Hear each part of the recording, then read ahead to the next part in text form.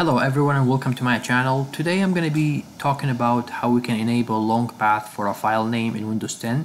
Natively this function comes disabled um, and it's important to enable this function uh, for for so many reasons like sometimes you won't be able to you will not be able to open up these files in Word or Excel if the file has a very long path like a long name um, and you cannot even do some comparison between files if you use an application called like such as Beyond Compare you won't be able to do that if you don't have the long path enabled in Windows 10.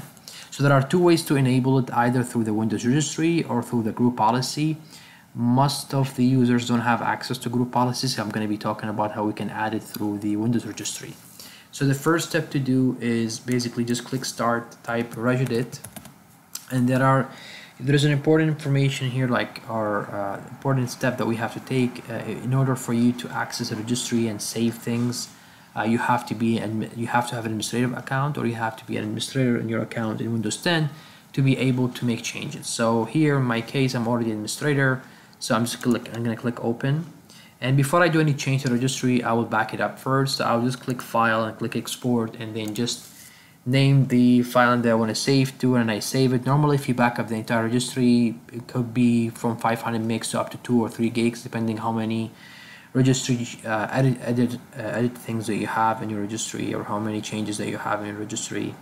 So um, it all depends how you want to do this. Um, you can also do a simple backup for the changes that we're gonna do which I'm gonna show you but it's recommended that you take a complete backup for registry in case something happens you can at least retrieve or you can restore it. Um, and the file name that you're gonna save when you export registry will look something like that and I just called it test um, and how basically to restore it you just double click it then you press yes and that's how it restores back the registry to the normal. If if something goes wrong that's your last resort to come back to. But in this case and in most cases I haven't seen any issues when people do a single change the registry.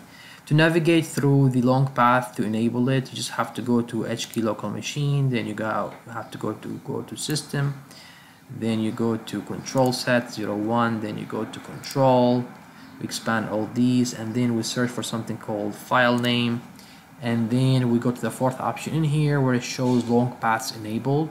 Just double click it in hexadecimal code. Uh, we have to leave it as hexadecimal. One means it's enabled zero means it's disabled.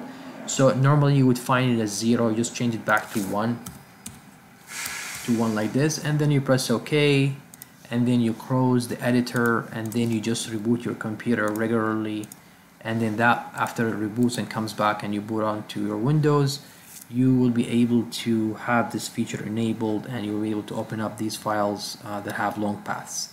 Hope this video was helpful guys uh, and simplified and uh, to the point. Uh, please subscribe to my channel like my videos to support me if you like this video. And then uh, hopefully I'll be posting more videos in the coming days. Uh, so until then have yourself an excellent day